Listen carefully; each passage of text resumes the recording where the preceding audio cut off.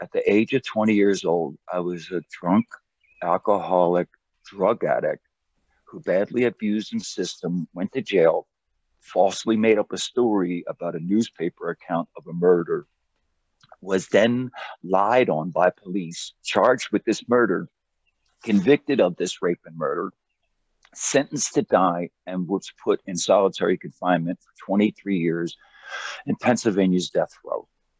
While I was there, I contracted hepatitis C from the beating that they gave me, in which they broke my teeth and things like that, and the dentist infected me.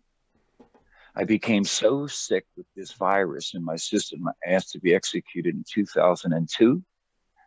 And in 2003, DNA's results finally granted to me proved that I wasn't the person who committed the rape and murder. And finally, in 2004, two years after that effort started, I was set free.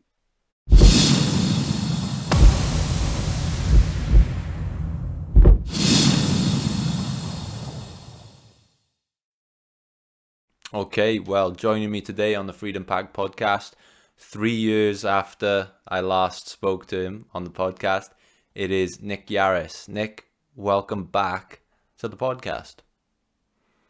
Wow, what a difference three years have made since we first did our first recording, brother. Yeah. Yeah, wow. In the span of time that it took for me to explain to your audience my grasp of freedom and the basis of our speaking. I went through every type of turmoil you can imagine. I ended up losing my entire business because of COVID. In March of 2020, I was actually booked to go to Copenhagen to the Royal Ballet Theatre. And I was so proud to be booked for five nights speaking, followed by a trip to London to the School of Film in London, where my film, The Fear of 13, was actually made.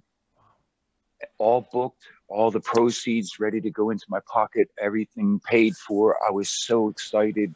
Amnesty International was actually supporting my trip to Copenhagen, and then COVID wiped out everything. Boom. So my wife Laura and Bethany are, and Zara are two girls with a cat and three dogs, four dogs, went and lived in the Siskiyou National Forest. And at first we were living in a borrowed camper. And then I made it uh, a deal later on with a, a friend of mine, uh, author, who put up money to make a new documentary that's soon to be released this year called Life After. And he gave me enough money to buy a 1996 motorhome for me and my family to live in the woods out of. And enough sustenance to hold us over. My wife was taking care of us at times going into town to take uh, and doing cleaning jobs. And she had feelings for one of her customers and decided to leave i was left in the woods with just my dogs my cat and my rv and i had just lost every single thing that was making me happy holding me together, you know. I ended up parked along the Pacific Ocean all of 2021. And it was towards September of that year that I had a crazy incident happen to me. I was parked along the ocean side when I met a shaman. And the shaman was in training, but they were person.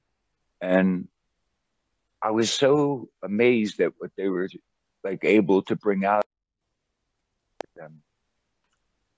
So I ended up spending like three days camping next to this person who was on their way to South America to go visit all of these indigenous areas and perfect their craft of being a shaman. And one of the discussions we had was that we were talking about crystals, and she said that crystals would always show me the way. And I, I never fell into any of that. I didn't really cotton to the notion of the powers of minerals and such. So she parted ways, and I went into a local town called Gold Beach, Oregon, on the coast to get my supplies one day. And a woman behind the counter serving me told me a story about how at her other work in a restaurant, one of the customers had recently spit in her face for serving her food without wearing a mask. I couldn't believe that someone had done that to a server at a restaurant. So I told her, look, I'll tell you what, every time I come into this business, I'll be ultra polite to you and hopefully it'll make it up to you for what that other person did to you by spitting in your face. And she said to me, You're such a polite person. You should come and work at my restaurant. We need someone to come and help. I don't know. I, I really didn't think much about it. And the oddity was her name was Crystal. She was a Southern girl from Virginia. Well, I went over and I interviewed and I got hired at the job. And I began cooking for people. And the first day of work, I came home. There was a white car parked next to me and I didn't think much of it, but I waited till the next day to see who the person would be camping next to me along the river at a section called Pistol River. There's a big wide pull off and you look out over the Pacific Ocean and it's just beautiful with these monolithic rocks sticking up out of the ocean. It's just picturesque. When I came home from work, I saw that the uh, camper in the car, a white vehicle, had a dog. And when they got out of their vehicle, there was something wrong with his leg. So his dog and my two dogs that I had at the time ran off to the beach side, and we soon followed in pursuit and began talking and greeting to one another. I, know, I learned that his name was Alex. And I would soon learn that Alex was a very, very special human being. Alex was diagnosed with a form of bone cancer that has killed every human being that has had it within six months of diagnosis.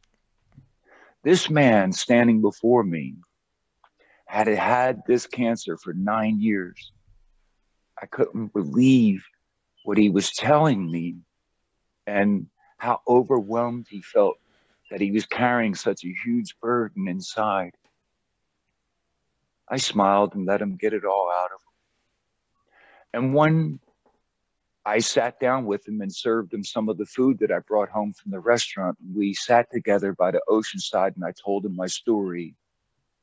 His eyes boggled he couldn't believe that he was hearing a story that was equal in so many ways to the arduous journey he had been on. And he said to me at one point, Nick, I, I've always felt like I would never be able to tell my story to anyone without them either fleeing from me, feeling pity for me, or making me feel like it was a wasted effort until I sat next to you. From that day onward, Alex and I began becoming great friends while we camped together. We had a moment sitting together where the ocean's surface before us was lit up so beautifully, not by the moon, but by the galaxies of stars in the Milky Way above us. The Milky Way itself aligned so perfectly as we sat there before the calm ocean waters that it looked like billions of candlelight was all over the surface. We couldn't believe we were witnessing this, and we talked about how we were going to come back and hang out and see each other again in six months. Now, that's really important to Alex because every six months he goes for a checkup on his diagnosis. At first, he told me the heartbreaking stories of how they kept telling him it was 100% he was going to die. He couldn't even get that 1% offer of hope to him from doctors. When he first survived his first six months, he couldn't believe it. When he first when he first survived his first five, six months, he couldn't believe it. But then he started to believe it because Alex became ultra positive and he didn't want to have his cancer die with him. So he tried to figure out a way to love his cancer alive to the point that he could deal with it. Now, I don't know where he summoned the courage for all of this, but I knew I wanted to keep my promise to him. So we stayed in touch and we keep fervently sending messages back and forth to each other over the National Football League here in America. See, Alex, ironically, is from Virginia, the same area as Crystal. And just like the shaman said that Crystal would show me the way, this whole convoluted story started to give me all this empowerment. When Crystal found out that Alex was from her area, she said, Of course, he lived for nine years with this cancer. He's a strong boy. He's from Virginia. Alex drove 500 miles this April from Washington all the way down here to stay with me so that we could watch the NFL draft in April of 2022. I personally hadn't watched it since I was set free from death row, so I was eager to have this experience, but it was so gratifying that my friend made it another six months, you know? And he has all these clever inventions for him and his dog because one of the problems with the cancer was they had to cut his leg off, remove cancer from it, and then put it back on. It's in a precarious situation where if Alex falls over, they're going to have to amputate his leg. In a world full of violence, I taught him so many different ways to defend themselves in cleverness because it gave him solitude from fear over here. And he told me that the only time he ever really truly felt alive when he was in the United Kingdom, he visited Glasgow. And for some reason, nothing mattered. The cancer didn't care. You know, he didn't have any cares at all. And he went and did a genealogy study of his blood and found out he has Scottish heritage. As we sat by this lake watching this program on my phone of the NFL draft, he told me of his dream to go back to Scotland. I didn't know how I was going to get him there. I have nothing. I lost everything. At the time that he came to visit me, I I was making $860 a month working as a handyman. I don't have anything, you know, so I went and prayed about it. And then I met my friend David from Scotland, and he has a podcast called Development by David. And I told him about Alex and how it would just be so nice to have him on the ground if I could get Alex a ticket to go to Scotland. So he agreed back in April to help me with that idea. And then I saw that that was going to not really be it. So last week, as I told you, Lewis, I recorded the podcast with David, hoping to attract some kind of help for Alex because his last diagnosis didn't go well. And despite his positivity over and over, I'm not waiting around to do this good. So I decided to fling all of my stuff to the side and to throw myself into this good that I have before me to try and help this amazing survivor of cancer have this moment of feeling truly alive again by visiting Scotland and having friends there to, that welcome him. If that's all I get to do this year, then it makes up for me almost dying in January from a car wreck or almost dying in February of blood poisoning or having lost my wife and children, having lost my business, it'll make it up for all of that.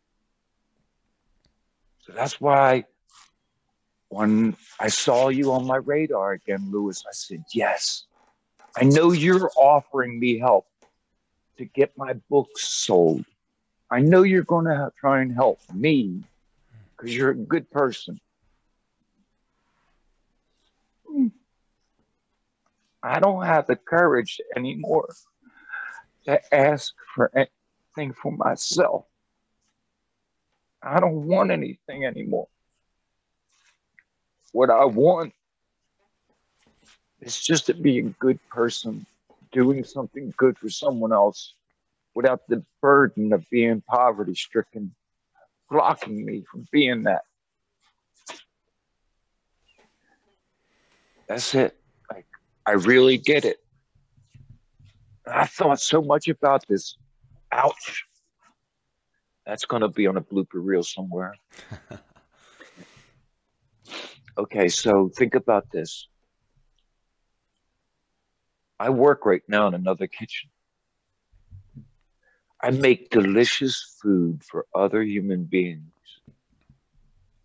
And I can't imagine how they would feel if they saw me wearing prison eyeglasses and an orange jumpsuit and shackles on me. Like they couldn't envision that person having prepared this delectable meal for them. I'm kind and polite to everyone because that's my freedom. I figured it out, Lewis. You know, it doesn't matter if you're stricken with cancer like Alex and you have this enormous burden. That boy has enough freedom to be kind and gentle to everyone, never bitter about what he's not going to get or doesn't have. He doesn't have someone to love him. He's been on his own for nine years. He hasn't had a woman in nine years to love him because when he was stricken with cancer, she left. His love in life is Bishop, this amazing dog I get it about Alex, man. The isolation didn't make him bitter. He chose the freedom of kindness. And that's what I figured out. You know, in the last six years, this is crazy. I went back since April and I started looking. I saved over five 600, 560 people's lives of committing suicide, like actual messages. I had one woman write me who said, I put on the television in the background. I fed my cat for the last time. And I was sat on my bed with a, a big glass of water and all of my pills around me to go to sleep for the last time. As I lay my head back on my pillow, I heard this voice, and it was because inv- inevitably and by mishap, the Netflix channel was playing on my television, and a haunting voice called to me. I'm 68 years old. I'm stricken with, and she's told me all of her ailments, that she was overwhelmed, that she couldn't take it no more. There are so many like that. I, I mean, people who have been utterly destroyed trusted me to be gentle with their trauma. Then there was the hundreds upon hundreds of addictions and people who have been mentally warped from addiction or lost from their partner's addiction and all this trauma. I've been the richest person in the abilities I've had to make a difference for people like Alex or David or you or myself that I, I get it. The reason I had to be poverty stricken, the reason I had to have no trappings of wealth and luxury was so that I could go on the, the level of humanity that people would trust me with their trauma. That, that's fascinating to me. Like, people are drawn to me because no matter what I go through or what's been taken from me or what is ever going to face me, I find within myself the glimmer of hope that they hold for who they are. That glimmer becomes magnified by my actions to them because they pray so hard. It's within them to be that in the moment. Now, if you could wrap your mind around that one thought, you can understand why so many people will really struggle to be free, hmm. free of fear, free of care. Care, if you look up the definition of the word, is chaos, a state, a state of uneasiness. When you care too much, you'll give yourself an imbalance that will destroy your life. So you have to be free of that. Yeah. Well, this is why I think you were the, you know, the ideal guest for this podcast. I don't think anyone has a sort of license to to talk on the subject of, of, of freedom quite like you. And you know, we, we we did it last time, and this is what this show is about. This little ornament behind me here with this bird with our logo on it is, you know, s- symbolic of freedom. And you mentioned your story having such an impact on those people, and that is an absolutely beautiful thing. And you know, when when people think about your story, they think of all, all the hard times you went through. But to say now that that story has a, a positive impact am I right in thinking that you wouldn't change anything about that? Pablo Picasso said the meaning of life is to find your gift. And that the purpose of your life was to give that gift away. My friend Jason Daly had that on his wall in his house. And ever since I read those words, my life was profoundly changed. I live such a purposeful life that I have profoundly given all of this gift away. And the only possible way I could give it away is to experience so much more than most people could ever imagine beyond what they know of me. As I sit here talking to you, I have a person determined in my life to destroy me. I can't help it it's a psychological fixation that they have because of a disorder about being a stalker. But could you imagine that whatever personal experience I have already had or will have, this person will try to denigrate. Now, the only way to free myself and find freedom from this attack is to deliberately treat myself like my best friend. So whenever I am aware of an effort to do something like that to me, that's the day I make sure to have a nice long bath. I shave, I have a nice meal, and I always have ice cream or other treats that I enjoy because that's what I would do for you, Lewis, if someone did that to you. Mm. and that that that is a theme that uh, you know we, we picked up on last time and, and and you talked about how you developed this way to to be nice to yourself to love yourself whilst you were in you know whilst you were on death row so what would your advice be to people on on self-talk because you said no you know no matter what you do to me you'll never take away my kindness you were essentially able to to sort of reshape your neuroplasticity whilst you were on death row just through self-talk what advice could you give to right. people? So, the number one fear that most people have is public speaking. And it's because they haven't mastered the ability to speak to themselves comfortably. I was blessed with a setting where I took everything off my walls except for a singular photograph of myself.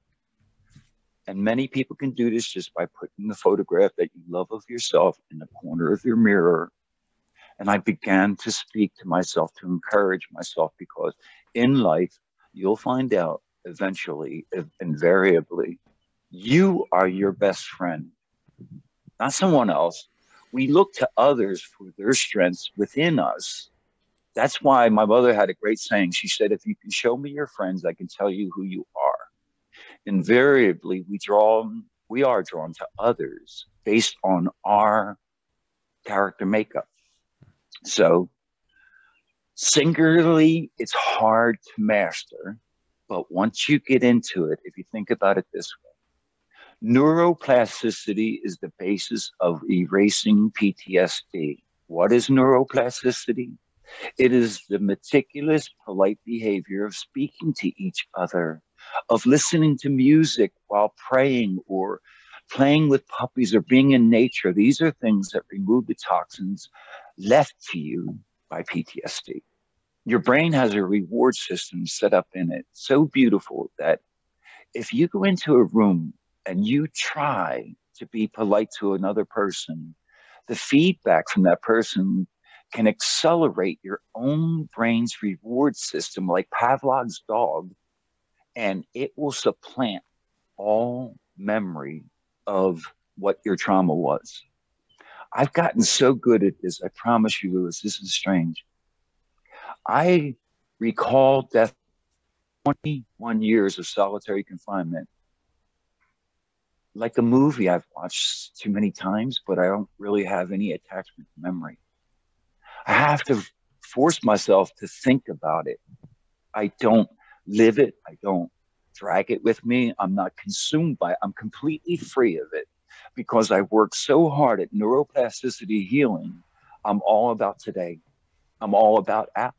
I'm all about doing that next good thing because I've revamped every part of my brain.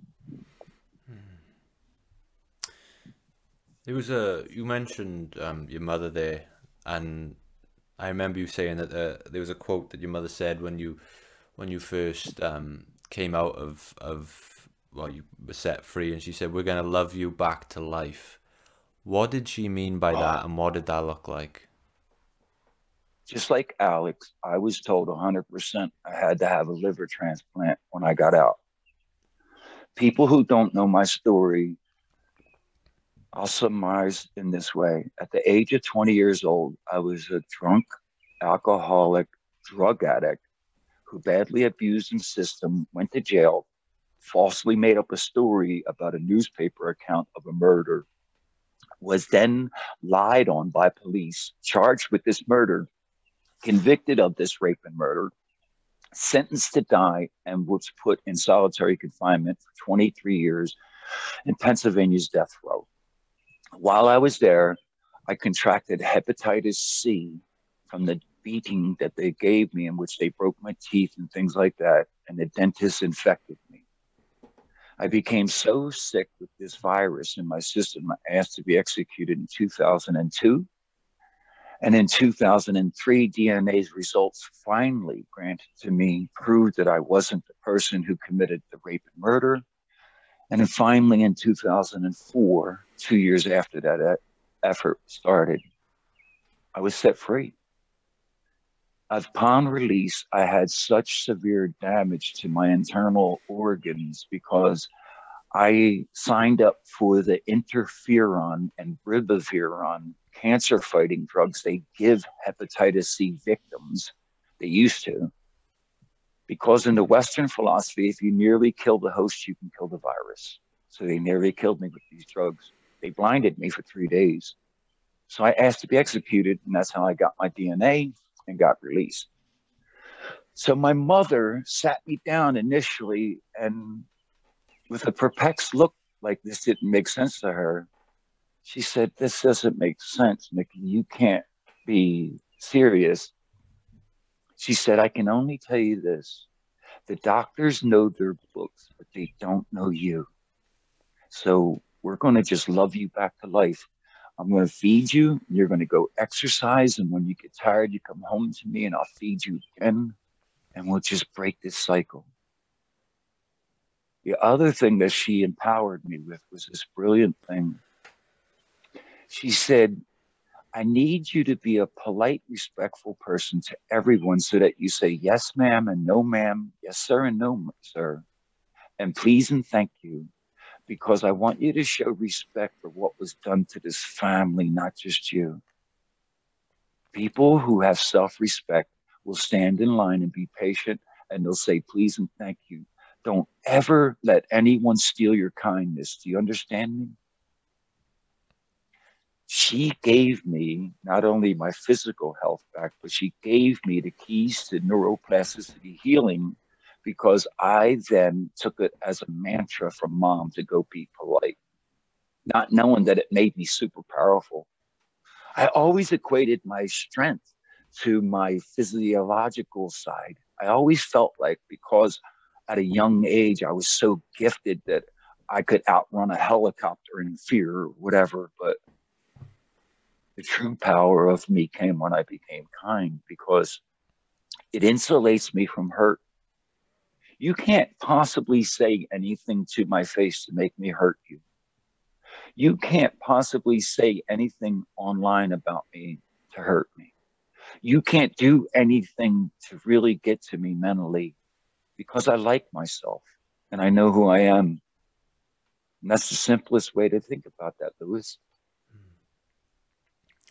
Yeah, it's a very, very powerful message, and and you know I love that sort of philosophy that you, that your mother instilled in you, and and let's not forget that you know your mother went through all this with you. I mean, I, I remember seeing um the, the you know the, the videos and pictures of your of your mother compiling all the the articles and and and and searching for some evidence to set you free. She really put her heart and soul into this, and to see you come out she couldn't, well, she had to bring you back to life almost because of everything she went through.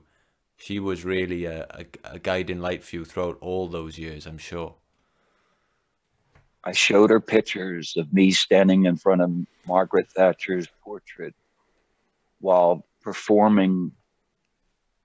And then I had the honor of all honors. See, many years ago, when I first got out, I was in a movie called After Innocence on the Showtime network here in America, in which like Barry Scheck and Peter Neufeld, TV personalities like Phil Donahue were in it. And I went to New York and I had my parents come to New York as a very special honor. At the conclusion of the screening, having sat in the audience with my parents beside me, and having them see me fight for the victim in this crime, Mrs. Craig, because that's what they ca- encapsulated. I went up on stage and I gave one of my most beautiful speeches. My mother, afterwards, she looked at me and she said, I always knew that was you up there. Hmm.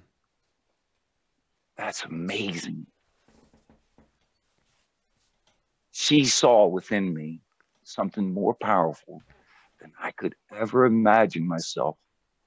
Now you have to understand, after only 10 months of my release, I had orchestrated an economic embargo tour of Europe by myself with the help of University of Pennsylvania students and a abolitionist group in Pennsylvania.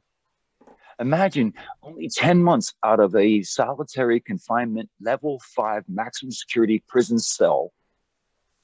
Kofi Annan, the UN Secretary General uh, at the time, witnessed my speech before a combined session of the lower house, walked up to me in front of witnesses and said, You are one of the most beautiful speakers I ever heard in my life.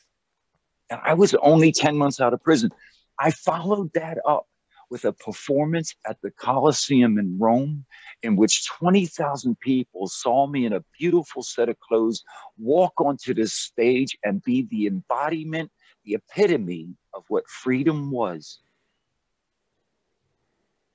Lewis, it was mind boggling that my mother empowered me so much that night by looking at me and telling me she recognized all that about me because ever since then, I've held my own no matter what in any form.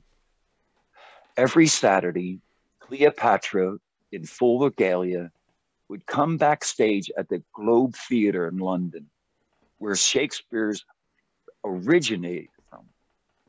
And she would lead me by the hand out on stage after begging the audience who had just witnessed Titus Andronicus for three hours standing on their feet to please share in this special gift she had for them.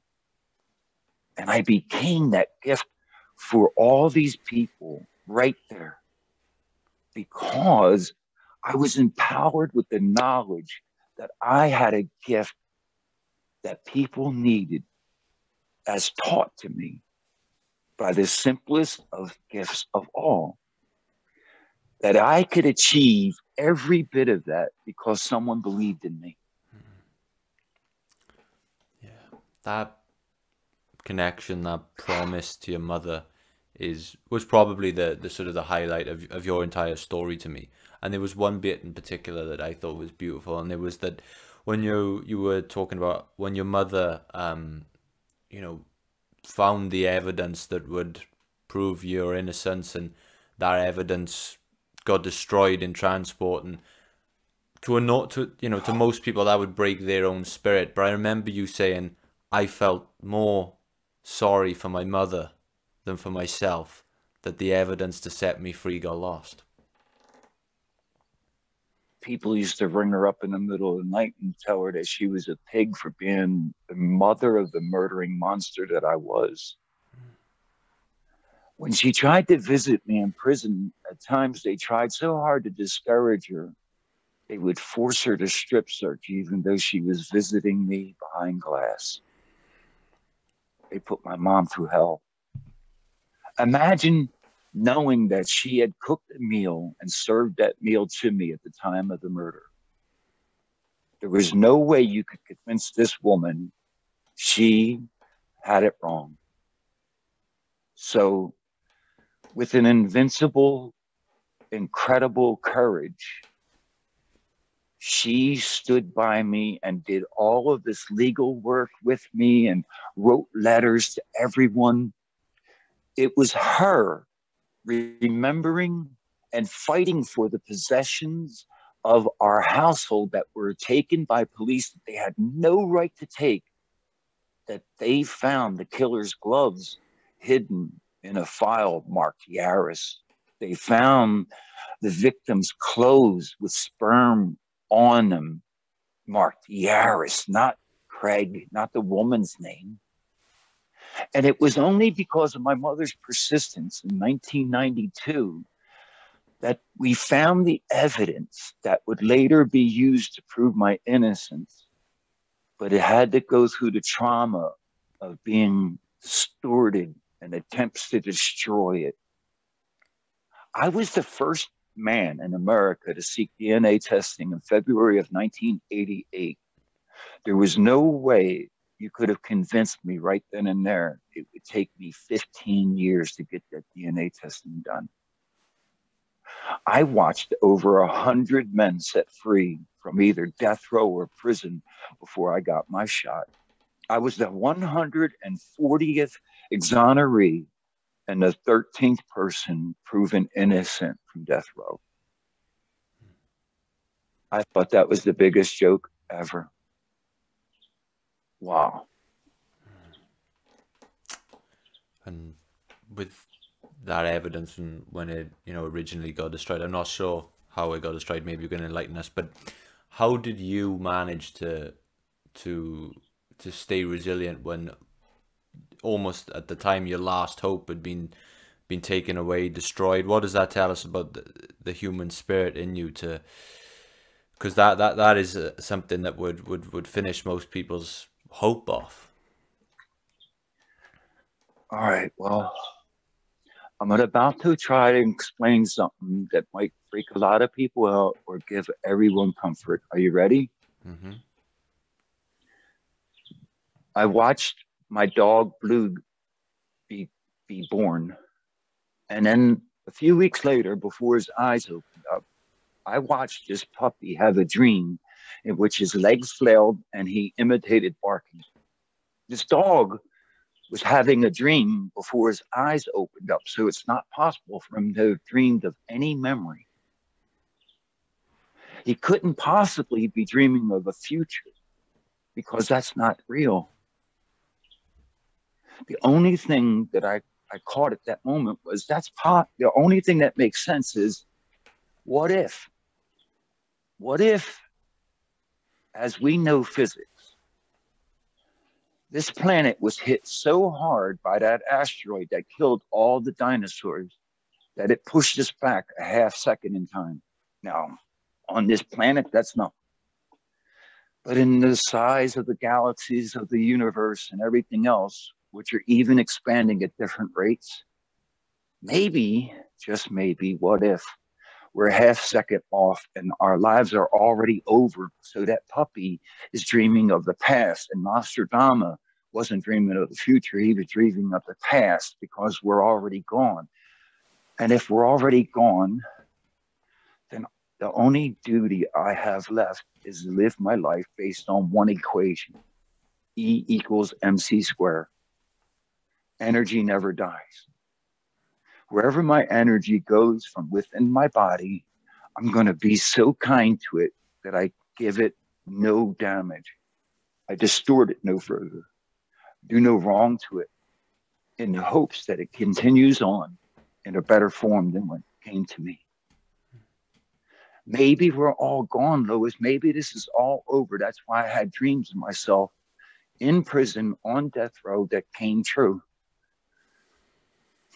I wasn't dreaming of the future me and seeing myself in these future events that I would then experience because that happened.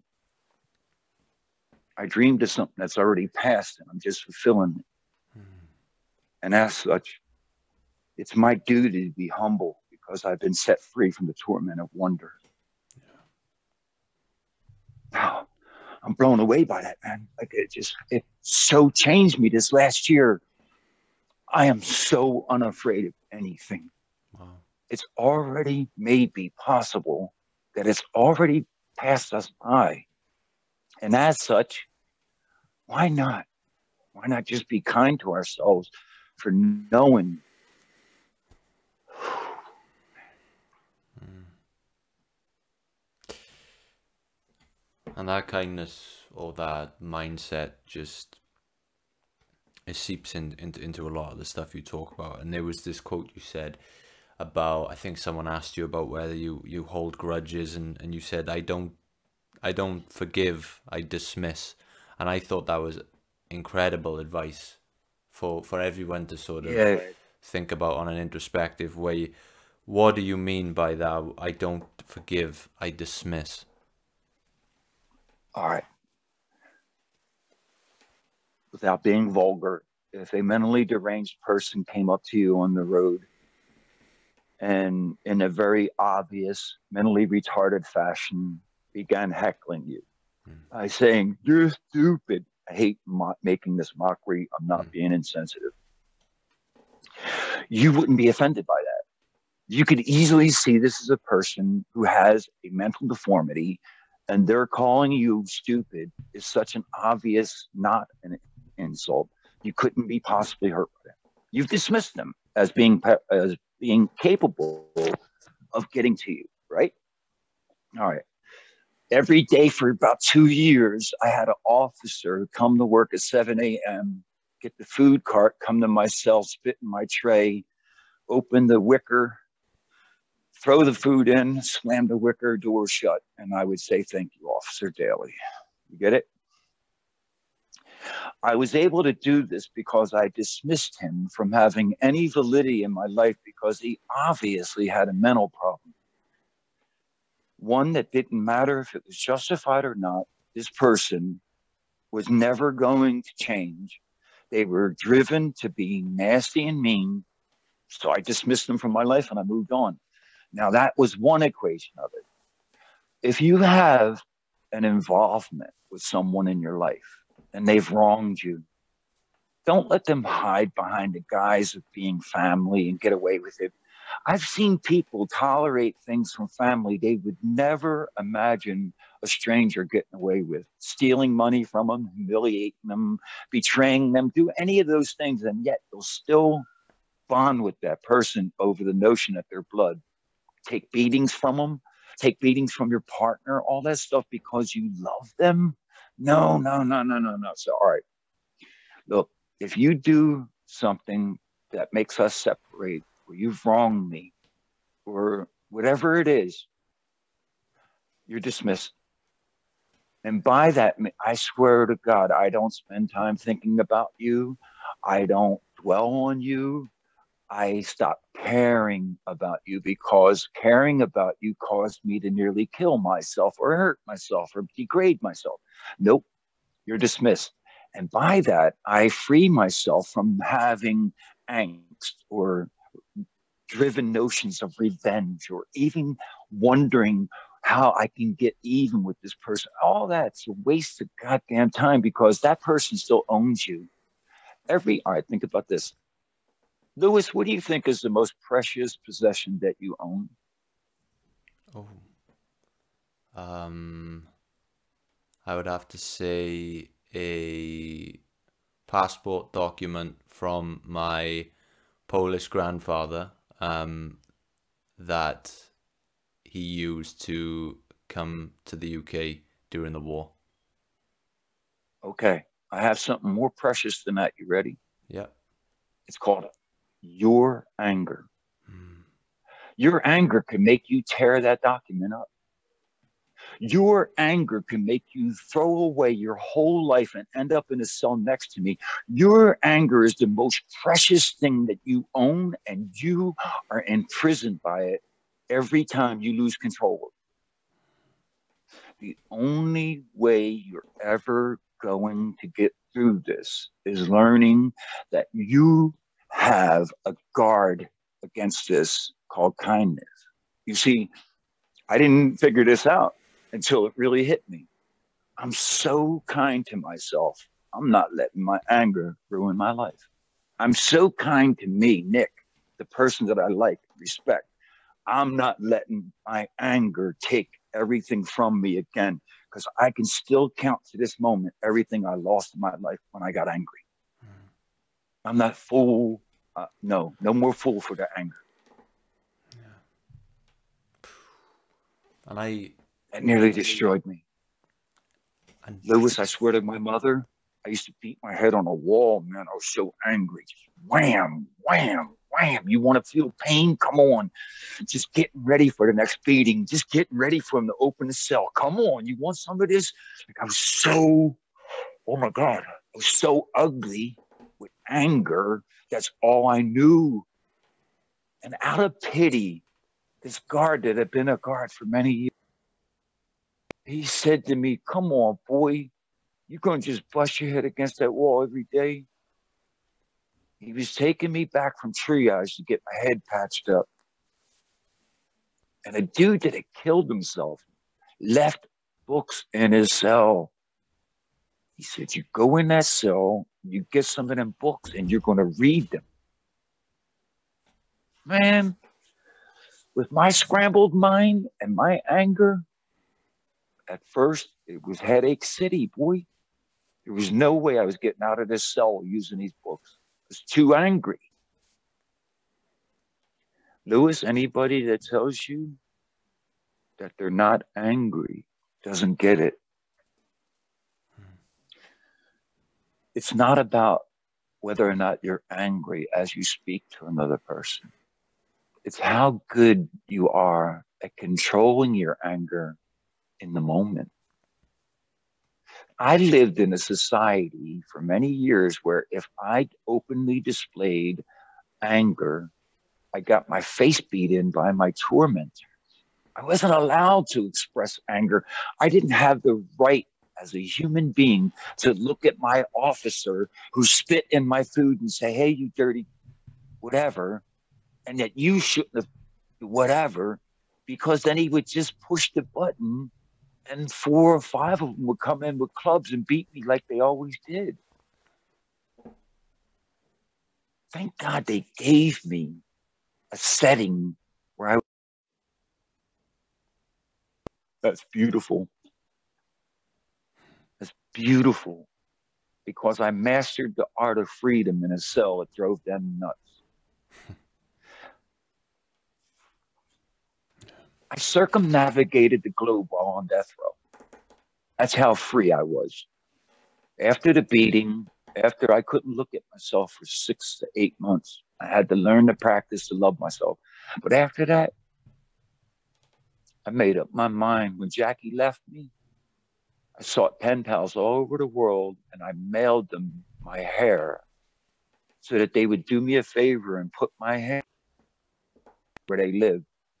That is awesome. I managed from my cell in death row to send my DNA all over the globe, and I managed to circumnavigate the globe while sitting on death row.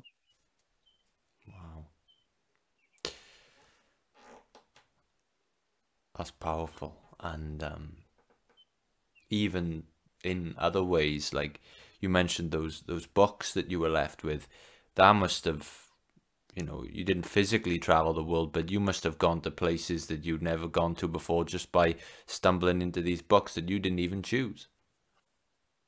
I got so good at it that like Kipling would take me to Kafiristan and I, I would be king. I nuanced every bit of his writing. Such a brilliant writer.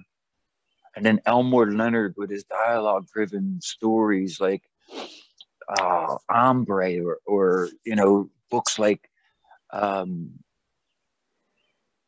Majestyk, Mr. Majestyk, like great writing. Like, oh man, and to see these as films too is just hmm. unbelievable. So I got the blessing of having this extraordinary gift given to me as a child of being able to daydream. And I only use daydreaming because of the childhood trauma done to me when I was sexually assaulted at the age of seven. But it made me a fantastic daydreamer because I needed to escape reality. So I say to you, if you can will yourself to daydream, be it on a couch or on death row, you're experiencing in that moment your own mind's freedom over anything around you to the point you could be anywhere in the world and be happy with a smile for the thoughts you gave yourself. Mm. Absolutely. And this is something I think a lot of people just gravitate towards. I myself, I'm looking at my bookshelf here and, and I've got all different fantasy worlds. I've got Harry Potter, I've got Lord of the Rings, and all these places that when I find myself at my lowest, I turn to these books to take me to these realms and, and live these other lives and just be joyous. Like that is such a beautiful thing. Oh, it is nice. Lewis, I know exactly what you mean. I love it that when I get interrupted and I come back from the world and I, and I have to blink because I was so gone. yeah. Uh, James Clavell had, oh my God. So uh, the, the long-winded writers, as they called them, was like James Clavell wrote Shogun and Noble House and all these wonderful, uh, like these are novel, 800 page novels, you know, James Michener's Hawaii. Like you could really get, like, I didn't care about how much time they were trying to steal from me. I was grateful I had so much time to go like the Odyssey and all these great books. I was like, oh my God, this week's gonna be massive. I got all these new books, you know? I was such a geeky nerd on death row of learning. I mean, I studied psychology, law. I got other prisoners off death row. I wrote letters to their mothers. I wrote letters to their lawyers. I I I machinated the system around me to allow me to grow up and develop as a man. So much so that when I left there, I felt the distortion of having lost my stature within that building. Everybody counted on me to get the mayor, man. I got so many friends that needed me, so many people that needed someone strong to guide them. In 2020, I fulfilled a promise I made while on death row I drove across America and I went and got Walter Ogrod off of death row finally. I met this man in prison who had been convicted of murdering a small child and putting her in a TV box on the street corner. He was innocent. And I gave him my word in 1999 that I would help him. It was such a great thing to see me able to keep my promise to myself to be that kind of person. I don't know but anybody else that went back for others to the hell where they came from. Hmm. But I respect anyone who's done that because I know the effort it takes to come back for someone when you say, no matter where you go on this planet, if you yell my name long enough and loud enough, I'll come for you.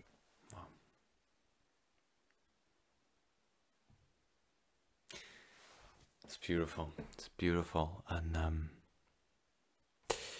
just going back a little bit to, you know, we were talking about books there and how you studied subjects and you developed this, all these new skills whilst in a place that is designed to take the hope out of people.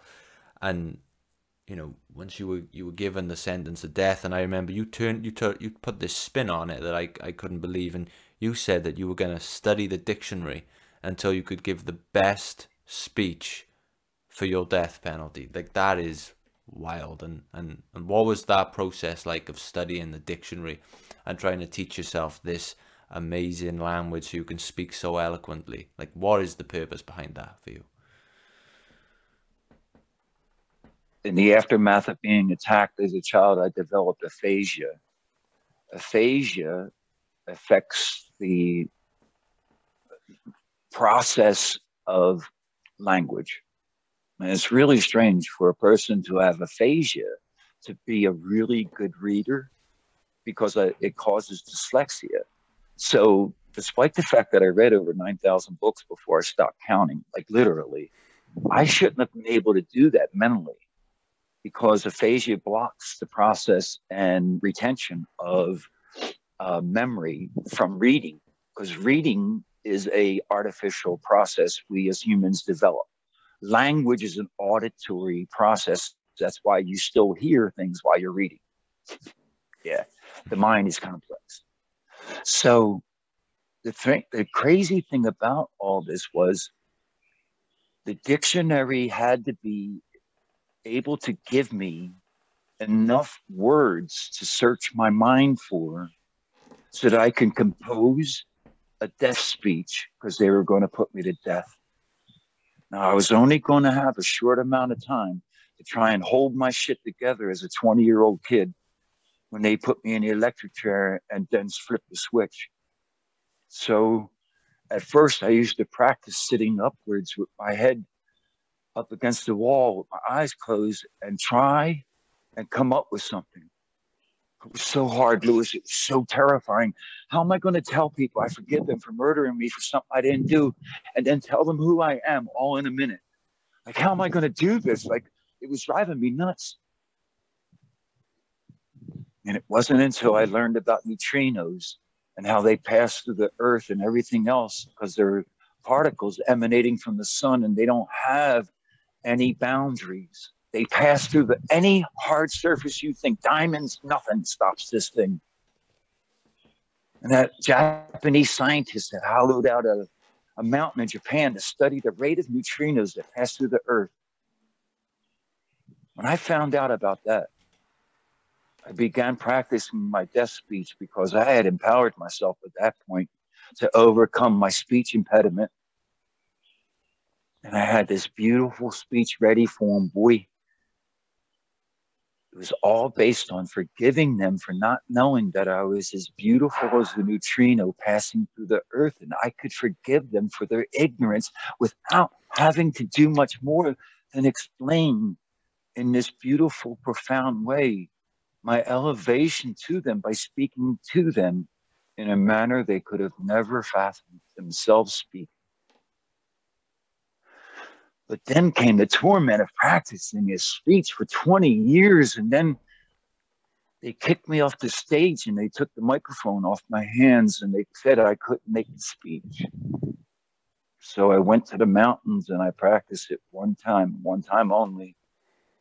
I drove this Jeep all the way up into the mountains and I got up on this giant boulder overlooking this mountain. And I practiced my speech one time perfectly, beautifully. And I burst out crying because I, I realized right at that moment I would never be this free.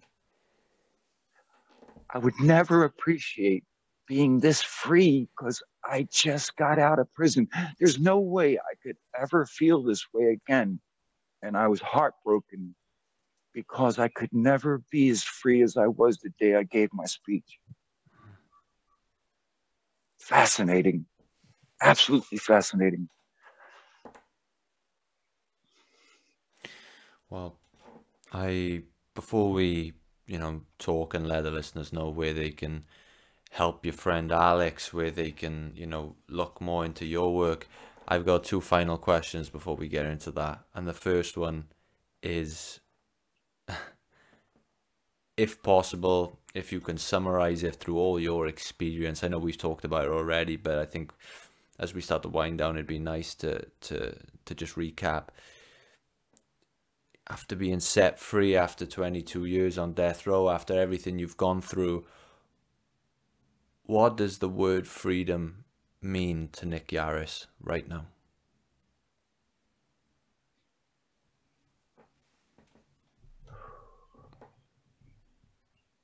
The word freedom means the kindest possible you, despite whatever's been done to you. You want to let go, find the kindest part of you. You want to overcome it, find the kindest part of you. If you don't believe me, trust me when I tell you, every prison is full of people who regret not being kind. They'll tell you their story over and over and lament because they failed themselves in kindness.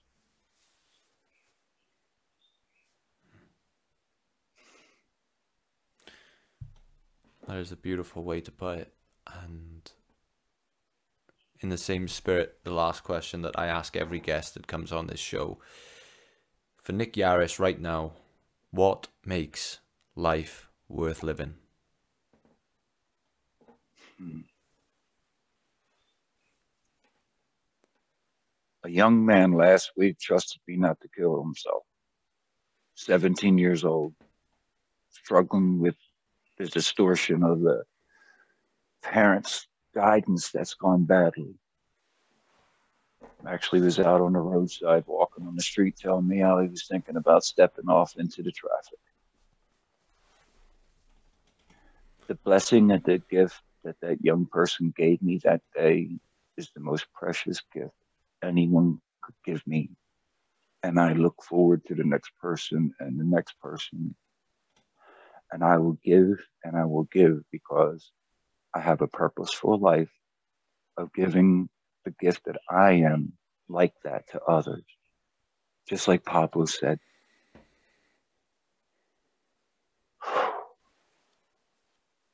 Want to know the crazy thing? Guess what his name was? What was that? Lewis. wow. And um, Hey, Lewis, if you're listening, man, thank you for believing in you.